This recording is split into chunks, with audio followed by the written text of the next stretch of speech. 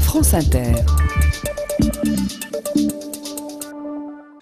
Alors ce matin, rien sur l'invité. Je tiens à rassurer tout le monde, après ce qui s'est passé hier avec Éric Besson, rien. Ça tombe bien, c'est François Chérec. Écrire un papier drôle sur Chérec.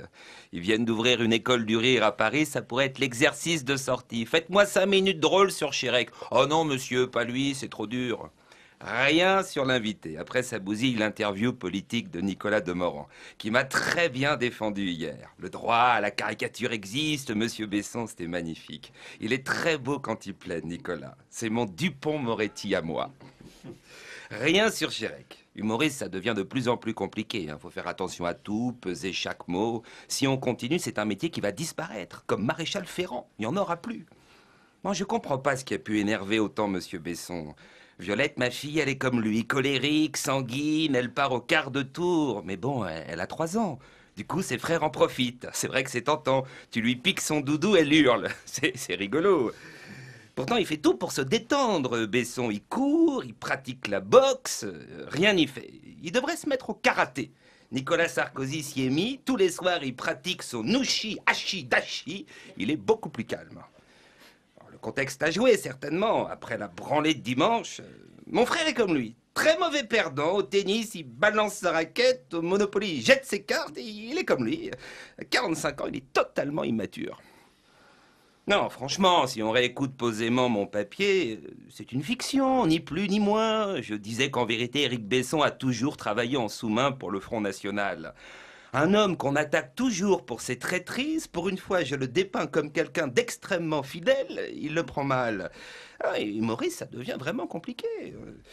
À sa décharge, il a réagi sans avoir entendu ma chronique, en se basant uniquement sur des SMS envoyés par ses amis. Des conneries du style Guillon a cité Mike Kampf. Après lui, il répète le truc bêtement à l'antenne, il se ridiculise. Une radio de service public, tu peux pas dire n'importe quoi. Nous, on vérifie nos sources. On travaille pas par SMS. Bon, à part Philippe Lefébure. Non, c'est moche. C'est moche d'envoyer des conneries sur le Blackberry d'Éric Besson. Si ça se trouve, ses potes, ils l'ont fait exprès. Ils se sont dit, on est en plein remaniement ministériel, on va l'énerver pour nous, c'est tout bédef. C'est un monde sans pitié, la politique. À cause de tous ces SMS, Éric Besson a surréagi et il m'a traité de raciste heureusement, le président de Radio France, euh, Jean-Luc S, m'a présenté ses excuses. Besson qui vous traite de raciste, euh, ça fait tout drôle. Moi, la dernière fois que j'ai mis les pieds dans un aéroport, euh, c'était pour voyager, pas pour vérifier si le Paris-Kaboul était plein.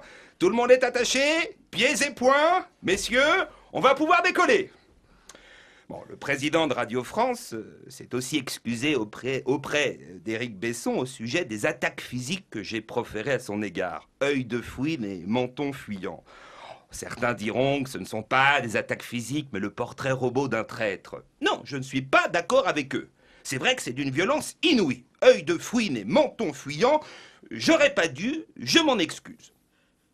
Dans la foulée, ce serait bien que le directeur du Monde s'excuse auprès de tous nos hommes politiques pour les caricatures immondes du dessinateur plantu, Martine Aubry en éléphant et Sarkozy entouré de mouches. C'est dégueulasse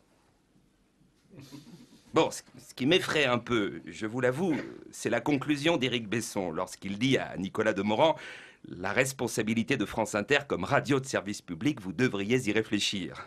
C'est pas sympa pour Philippe Val, cette petite phrase. Si jamais il avait eu envie de me virer en juin, maintenant il peut plus. Il est coincé. On dira qu'il obéit à, à, Besson. Oh, heureusement qu'on s'apprécie beaucoup. C'est pas d'actualité. Sinon, il y a la solution Berlusconi.